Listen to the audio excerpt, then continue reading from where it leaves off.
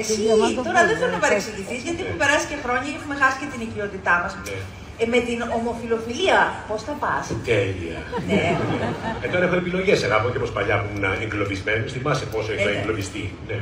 Έχω να διαλέξω τις ημέρε που κατάλαβες. Μπορεί να είμαι, ας πούμε, gay, μπορεί να είμαι bi, bisexual, transsexual, pansexual, asexual.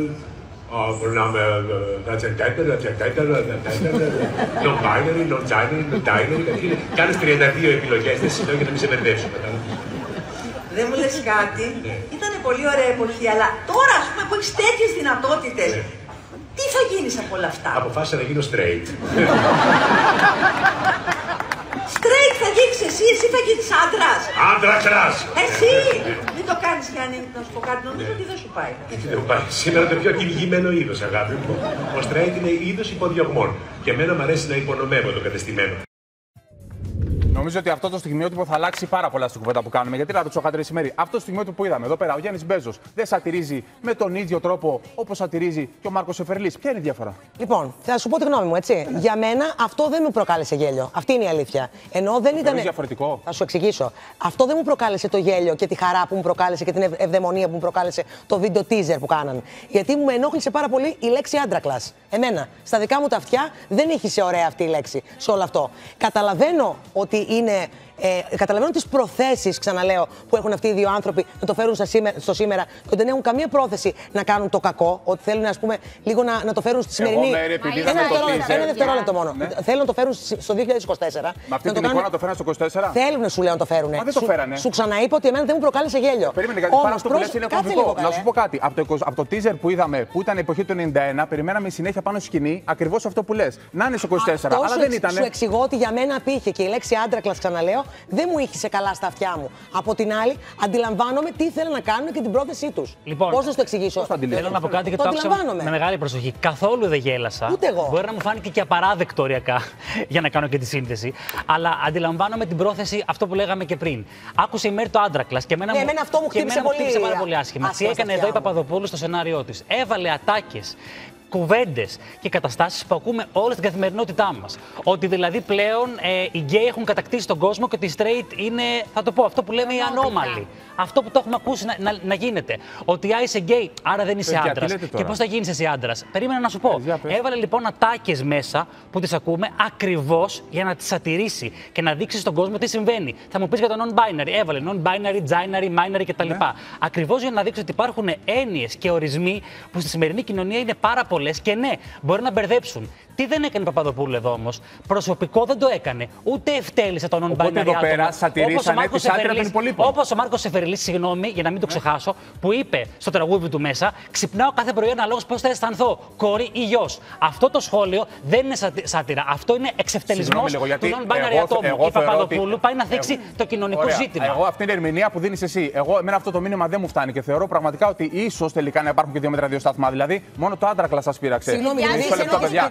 Και τα Να δύο ολοκληρώσω στο λίγο σε κόμμα. κάτι. Ε, Σε αυτό συγγνώμη, που λέει να πω ότι κάτι θέλω. επιλέγω το τι θέλω να είμαι, επιλέγω, που έχουμε σταθεί πάρα πολλές φορές στο αν είναι επιλογή ή αν γεννιέται ένας άνθρωπος με τον οποιοδήποτε τρόπο. Επιλέγω μία μειονότητα για να αντιδράσω και να πάω κόντρα στο κατεστημένο. Αυτό σας φαίνεται δηλαδή κάτι που Παιδιά, το οποίο αν το έλεγε ο Μάρκος δεν θα μπορούσαν να το φάνε όλοι. Σατυρίζουνε τα κακός κείμενα της κοινωνίας με αυτόν τον τρόπο. Δίνουν έμφαση. Μόνο εγώ, ε, δηλαδή προσωπικά, εγώ δεν το πήρα καθόλου έτσι. Δεν το πήρα καθόλου ούτε με το άντρακλας. σα ίσα που λένε άντρακλας για να σου δείξουν ότι υπάρχουν άνθρωποι εκεί έξω που χρησιμοποιούν αυτές τις λέξεις. Σαν να. ε, εμεν- εμ- εγώ επειδή έχω ακούσει τέτοιες συζητήσεις, έχω βρεθεί σε τέτοιες παρέες, λέω. Εσύ δηλαδή γέλασε με αυτό; Εμένα με, προ... με προβλημάτισε που η σάτυρα πρέπει να σε προβληματίζει και λέω: Κοίτα να δεις. Η σάτυρα δεν πρέπει να σε προβληματίζει, αλλά να σε κάνει να γελάς κιόλας. Όχι απαραίτητα, πρέπει και να Όχι. σε προβληματίζει. Εμένα και με Οκ. προβλημάτισε Εγώ, ρε, και παιδιά- χαίρομαι που το βγάλαν προς τα έξω και να σου πω και κάτι. Εγώ θεωρώ ότι πιάσανε τον παλμό της σημερινής κοινωνίας. Ποιο; Ότι υπάρχουν άνθρωποι που λένε τι είναι το ένα, τι είναι το άλλο, πόσα είδη υπάρχουν. Υπάρχουν άνθρωποι που σου λένε ε, ότι υπάρχουν πάρα πολλοί γκέι, όπως είπε και ο Κωνσταντίνος, και πλέον δεν υπάρχουν straight. Καλά, αυτό τι Όλα είναι αστείο. αυτά- Αυτό είναι αστείο. Παιδιά, δεν Εγώ είναι συγγνώμη, ρε μόνο παιδιά, θέμα επειδή ένα αστείου, επιχείρημα που λέει ο Μάρκος, συγγνώμη. που λένε Εγώ στον αυτό Μάρκος, ένα να λεπτάκι. ολοκληρώσω κάτι, είναι ότι αν ήταν το παιδί σου στην επιθεώρηση του Μάρκου θα γέλαγε, θα νιώθε άσχημα. Αν το παιδί το δικό μας ήταν στην επιθεώρηση αυτή και άκουγε το γέλιο που προκάλεσε στο κοινό, θα Παιδιά, νιώθε ωραία όχι, δηλαδή. όχι, όχι. δεν είναι Ένα λεπτό, μόνο να για σου κάνω μια γέλιο, ερώτηση. Πιστεύεις ότι συγγνώμη. ο- ένα non-binary άτομο ή ένας γκέι θα είχε προσβληθεί από, από αυτό το. Ακούγοντας τον Γιάννη από αυτό Μπέζο το- να λέει ότι άλλαξε από την, από την επιλογή που είχε και έγινε Μα άντρα κλα, πρόσεξε, δεν θα είχε ενοχληθεί. Όταν, όταν ένα γκέι άτομο έχει ακούσει στη ζωή του, εσύ δεν είσαι άντρα κλα και εσύ δεν μπορείς να γίνεις Εδώ άντρας. ακούει την επιλογή. Δεν προσβάλλεται. Μα εδώ ακούει την αυτό επιλογή. που έχει ζήσει, περίμενα να σου Το πω. πατριαρχικό Αυτό που κομμάτι έχει είναι τελείως ζήσει, διαφορετικό με αυτό που αυτό λες που έχει τώρα. ζήσει το ακούει να συμβαίνει μπροστά του. Στην άλλη περίπτωση προσβάλλεται. Εγώ από την αρχή σου είπα, δεν μου φάνηκε αστείο ω σκέτς. Για αυτούς τους δύο που τους έχω πολύ ψηλά στο Άκρη, μυαλό και μου, εγώ το δεν μου ίδιο. φάνηκε ότι είχαν χιούμορ έξυπνο. Ούτε καν. Αλλά το κοινωνικό μήνυμα, εμένα μου το περάσανε. Και εγώ δεν Γιατί πιστεύω μπορεί ότι- ένα γκέι άτομο να έχει ακούσει, δεν θα γίνεις ποτέ άντρας. Στο περάσαν το μήνυμα εδώ και δεν στο πέρασε ο Ήταν, Μάρκος. ήταν Ήθελα να ατυχέ. συγγνώμη. Ο Μάρκο δεν μου το πέρασε. Ο Γιατί Μάρκο δεν νιώθω θέλω να ότι σε ήθελε κάνω να κάνει γελάσεις. αυτό που είχε πει και ο Μπέζος παλιότερα. Ένα εύκολο χιούμορ. Ήταν ατυχές, αλλά Ενώ αυτό, όχι. συγγνώμη, αυτό ήταν ένα πιο δύσκολο χιούμορ. Όχι, ήταν ατυχές, ήταν ατυχές, αλλά όχι προσβλητικό. Στο κομμάτι του Μάρκου Σεφερλί που έχω γελάσει στο παρελθόν με διάφορα πράγματα, δεν γέλασα και το Για- θεώρησα Παιδιά, δεν προσβλητικό. ήταν Για να καν καταλήξουμε ατυχές, κάπου, κατά να τη τα γνώμη βάλουμε μου. Εντάξει, κάτω. νόημα Δεν είναι ήταν αυτή η Για να ατυχές. καταλήξουμε κάπου. Το ατυχές συμφωνούμε όλοι ότι ήταν. Όχι, εγώ δεν συμφωνώ. Εγώ θεωρώ ότι δεν ήταν μέσα στο act υπήρχε αυτό, αυ- αυτό το σημείο που δεν, προκα- δεν θέλει να σου προκαλέσει το γέλιο, αλλά θέλει να σου δείξει το πώς είναι η κοινωνία σήμερα. Γιατί δεν θεωρώ ότι όλα τα act όλων αυτών των ανθρώπων έχουν μόνο στόχο το γέλιο.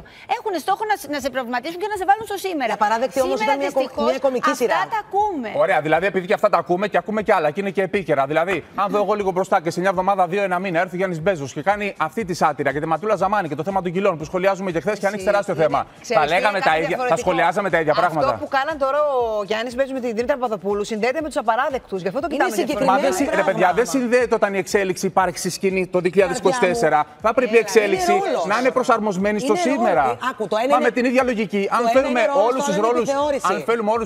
Και αυτό επιθεώρηση είναι. Αν φέρουμε όλους τους ρόλους ε, από το πριν στο τώρα, ε, νομίζω ότι θα πρέπει να εξυγχρονιστούμε. Τέλος πάντων, το